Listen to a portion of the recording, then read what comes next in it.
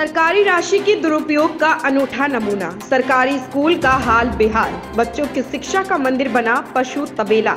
अतिक्रमण की भेंट चढ़ रहे शासकीय भवन जिम्मेदार मौत। मौके पर पहुँचे जन शिक्षक बनाया पंचनामा।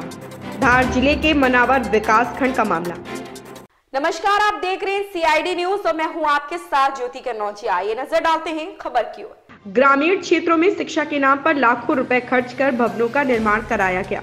मगर बहुत से ऐसे विद्यालय भवन हैं जो पशु बांधने व लकड़ी रखने के काम आ रहे हैं। 2017-18 में विद्यालयों को मर्ज किए जाने के बाद इन भवनों का उपयोग नहीं हो पा रहा है तथा यह भवन अनुपयोगी साबित हो रहे मनावर तहसील के ग्राम सिंघाना के छतरीपुरा प्राथमिक विद्यालय का मामला सामने आया है, जहाँ पर ग्राम सिंघाना के पत्रकारों द्वारा बीआरसी मनावर को शासकीय भवन पर अवैध कब्जे की सूचना दी गई।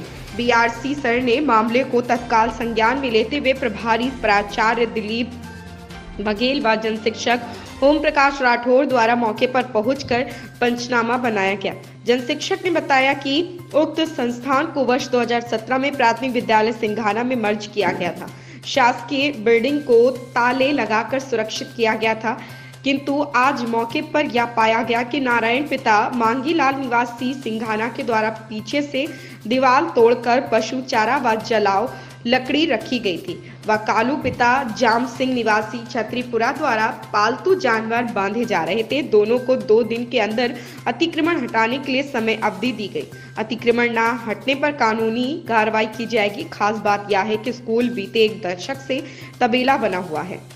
शिक्षकों की माने तो स्थानीय कुछ लोगों ने स्कूल की ज़मीन का अतिक्रमण कर रखा है। वे यहाँ जबरन अपने मवेशियों को बांधते हैं। पहले कम संख्या में मवेशी बांधा करते थे, लेकिन जब इन लोगों पर कोई कार्रवाई नहीं हुई तो धीरे धीरे स्कूल ही तबेला में तब्दील हो गया। आखिर सवाल उठता है कि क्या कभी इस ओर नहीं आते शिक्षा विभाग के अधिकारी, या स्कूलों का निरीक्षण नहीं करते? अगर स्कूल का निरीक्षण करते तो स्कूल का भवन कुछ वर्षों में ये हालत न होती और ना ही स्कूल पशुओं का तबेला बना होता। सरकारी राशि के दुरुपयोग का यह अनूठा नमूना है, भवन भी ग्रामीणों द्वारा उपयोग में लाया जा रहा। रसोई घर भी बेकार पड़ा हुआ है। ऐसे में ज़िले में मर्ज अन्य स्कूल भवनों का क्या हाल होगा, इसका सहज अंदाज़ा लगाया जा सकता है। अब देखना है कि ये आगे क्या कार्रवाई होती है। भवन का सदुपयोग किया जाएगा या कुछ समय बाद फिर से अतिक्रमण की भेंट चढ़ेगा। मनावर से मयंक घारू की रिपोर्ट। और किस पद पे हो? मैं ओम प्रकाश राठौर जन शिक्षक सिंगाना सर ये जो छतरीपुरा में स्कूल है शिक्षा विभाग के अंडर में या ग्राम पंचायत के अंडर में दो हज़ार सत्रह में यह विद्यालय प्राथमिक विद्यालय सिंगाना में मर्ज हो चुका था। तो यह प्राथमिक विद्यालय के अंतर्गत आता है। यहाँ के बच्चे और शिक्षकों का वहाँ पर विद्यालय में मर्ज होने से यह बिल्डिंग खाली पड़ी थी सर जैसे पत्रकारों को सूचना मिली कि यहाँ के जो रहवासी है उन्होंने कुछ दीवारें तोड़कर चारा वारा भरने की कोशिश करी और गाय बांधने की कोशिश करी ताला तोड़ के तो उसके बारे में आपको जानकारी मिली है?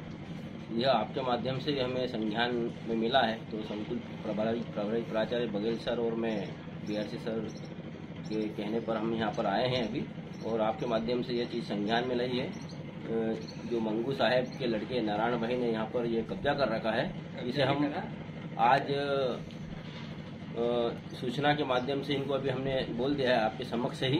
अगर यह एक दिन में पूरा कंपाउंड खाली नहीं करते हैं तो हम इसकी रिपोर्ट चौकी प्रभारी को देकर और हमारे विभाग को देकर अनुशासनात्मक कार्रवाई हेतु एसडीएम साहब आदि को लिखेंगे। सर अगर ये पत्रकारों के माध्यम से आपको सूचना नहीं मिलती तो इसका क्या होता?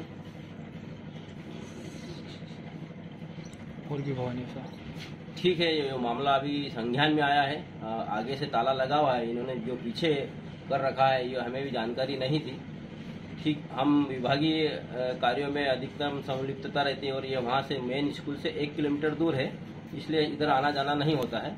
अभी हमारे मामला संज्ञान में आपके माध्यम से आया है, हम इसमें त्वरित कार्रवाई हेतु अनुविभागीय अधिकारी मनावर और हमारे विभाग के विकासखंड शिक्षा अधिकारी महोदय और राजस्व अमले आदि को हम सूचना करेंगे और व्यक्तिगत उसको जिस नारायण मंगू साहब ने अतिक्रमण किया है उसको भी हम अभी सूचना देते हैं और अगर ये खाली नहीं करते तो उचित कार्रवाई हेतु हमारे विभाग को लिखा जाएगा। सर जैसे कुछ भवन और रहे जैसे ग्राम दसवीं में बताया गया है अगर पत्रकार आपको सूचना नहीं देंगे तो आप कार्रवाई नहीं कर पाओगे?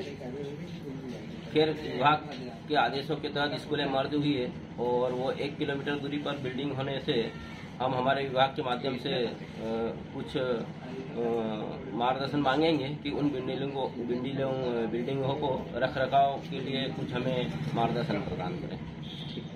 खबर फ़िलहाल इतना ही। बने रहे सीआईडी न्यूज़ के साथ।